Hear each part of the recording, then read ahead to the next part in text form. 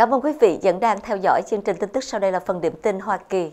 Tổng thống Donald Trump mời Tổng thống Nga Putin thăm Hoa Kỳ.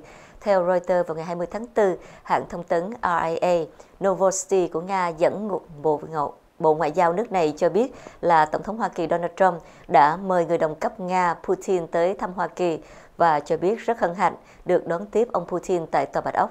Hãng tin trên dẫn lời Ngoại trưởng Nga Sergei Lavrov cho biết ông chủ Tòa Bạch Ốc đã đưa ra lời mời trên trong cuộc điện đàm với ông Putin. Ông Trump nói với ông Putin rằng ông sẽ vui mừng nếu có một chuyến công du qua lại với Nga. Ngoài ra, theo Ngoại trưởng Lavrov, hai nhà lãnh đạo khẳng định sẽ không cho phép xảy ra một cuộc xung đột vũ trang giữa Hoa Kỳ và Nga, cũng như là Moscow sẽ không đề nghị ông Trump gặp nhà lãnh đạo Triều Tiên Kim Jong-un tại Nga. Thưa quý vị. Sập tháp truyền hình cao 600 mét tại Hoa Kỳ khiến nhiều người thương vong. Vào ngày 19 tháng 4, một tháp truyền hình ở bang Missouri, Hoa Kỳ đã bất ngờ đổ sập, khiến ít nhất là một người thiệt mạng và năm người khác bị thương. Lực lượng cứu hộ địa phương cho biết vụ việc xảy ra khi 6 công nhân nói trên đang tiến hành bảo dưỡng tòa tháp truyền hình cao khoảng 604 mét ở thành phố Portland. Những người bị thương đã được đưa tới bệnh viện để cứu chữa. Nhà chức trách đang điều tra nguyên nhân vụ việc này, thưa quý vị. Quan chức cấp cao Hoa Kỳ và Nga thảo luận quan hệ song phương. Theo TASS đưa tin, Tòa Bạch Ốc thông báo vào ngày 19 tháng 4, Cố vấn An ninh Quốc gia Hoa Kỳ John Bolton đã thảo luận với Đại sứ Nga tại nước này Anatoly Antonov về tình hình quan hệ giữa Moscow và Washington. Thông báo có đoạn viết, tại cuộc gặp đầu tiên giữa hai ông Bolton và Antonov trên cương vị hiện nay, thì hai bên đã thảo luận về tình hình quan hệ giữa Hoa Kỳ và Nga. Ông Bolton đã nhắc lại rằng cả Hoa Kỳ và Nga đều hưởng lợi khi hai nước có mối quan hệ tốt đẹp. Tuy nhiên, phía Hoa Kỳ đòi Nga phải giải quyết cáo buộc can thiệp vào cuộc bầu cử Tổng thống Hoa Kỳ năm 2016. Cáo buộc là sử dụng thiếu thận trọng các vũ khí hóa học tại Anh và một số vấn đề liên quan tới tình hình tại Ukraine và Syria.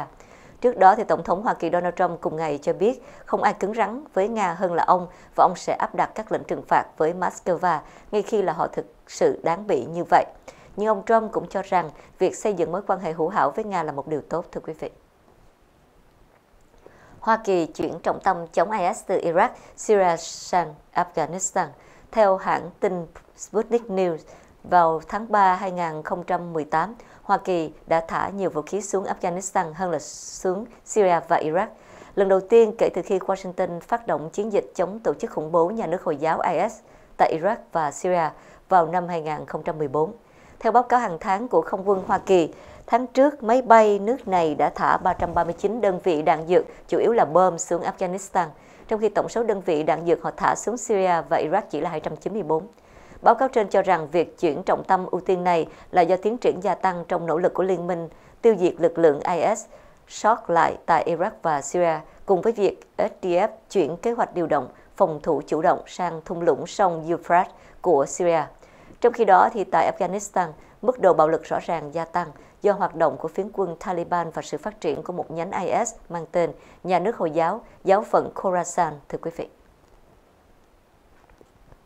Không quân Mỹ chi gần 1 tỷ đô la phát triển tên lửa siêu thành. Vào ngày 19 tháng 4, Ngũ Giác Đài cho biết là không quân Hoa Kỳ sẽ ký hợp đồng trị giá gần 1 tỷ đô la với công ty hàng không vũ trụ Hoa Kỳ, Lockheed Martin, để thiết kế và chế tạo một tên lửa siêu thanh có thể phóng được từ một máy bay chiến đấu. Trước đó thì các quan chức quốc phòng cảnh báo liên tục về những tiến bộ nhanh chóng của Trung Quốc và Nga trong lĩnh vực vũ khí siêu thanh với các tên lửa có thể bay với vận tốc gấp nhiều lần so với vận tốc của âm thanh và tránh được các hệ thống phòng thủ tên lửa. Trước đó thì theo hãng CNBC, tư lệnh Bộ Chỉ huy Chiến lược Hoa Kỳ, tướng John Hyten đã miêu tả viễn cảnh đáng sợ đối với các lực lượng nước này khi đối mặt với một loạt vũ khí tốc độ cao mới mà Nga và Trung Quốc đang phát triển. Phát biểu với Inhofe, ông Hyten nói, chúng tôi không có bất cứ khả năng phòng thủ nào có thể chặn đứng việc triển khai một vũ khí chống Hoa Kỳ như vậy. Điều này có nghĩa là cho đến thời điểm hiện nay thì Hoa Kỳ phải dựa vào khả năng răng đe chống lại những vũ khí được gọi là siêu thanh này, thưa quý vị. Hoa Kỳ dỡ bỏ một số hạn chế trong việc bán các máy bay không người lái. Vào ngày 19 tháng 4, Mỹ quyết định dỡ bỏ một số hạn chế trong việc bán các máy bay sử dụng công nghệ không người lái, tân tiến với mục tiêu là giúp các đồng minh củng cố sức mạnh và nâng cao khả năng cạnh tranh với Trung Quốc hiện trên thị trường vũ khí thế giới. Theo báo chí Hoa Kỳ, với việc triển khai kế hoạch trên, Tòa Bạch Ốc sẽ giảm thời gian cần thiết để phê duyệt các giao dịch vũ khí, dỡ bỏ các rào cản cho các hợp đồng bán vũ khí lớn, đồng thời tăng cường vai trò của các quan chức cấp cao trong việc hướng dẫn, chỉ đạo các thỏa thuận. Ước tính thị trường xuất khẩu các loại vũ khí và công nghệ không gian của Hoa Kỳ mang lại giá trị tương đương khoảng 1.000 tỷ đô la mỗi năm, tạo 2,5 triệu việc làm, lương cao và là một quân cờ hữu ích cho kế hoạch giảm thâm hụt thương mại của nền kinh tế lớn nhất thế giới này, thưa quý vị.